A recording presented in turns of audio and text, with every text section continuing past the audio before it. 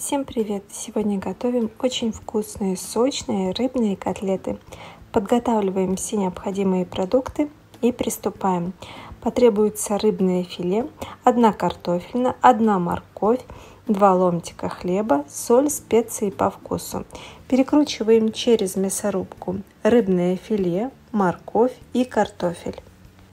Хлеб необходимо вымочить заранее в воде либо же в молоке и также его нужно перекрутить через мясорубку. В готовый фарш разбиваем одно яйцо, добавляем соль и специи. Все хорошо перемешиваем. На отдельное блюдо всыпаем некоторое количество муки. Это примерно 100 грамм потребуется для панировки.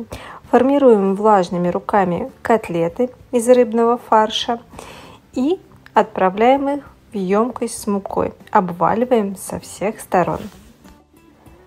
Полученные котлеты обжариваем на растительном масле до румяной корочки. Готовятся котлеты быстро, буквально 10-15 минут. Тут все, конечно, будет зависеть от толщины формовки котлет. Если вы котлеты сделали большими, то времени на жарку потребуется чуть больше. Важно учесть также, что котлеты нужно готовить на среднем огне. Получается очень вкусно и аппетитно. Я желаю вам всем приятного аппетита. Готовьте вкусно, готовьте с удовольствием. Радуйте себя и своих близких. Ну а мы скоро увидимся. Всем пока-пока.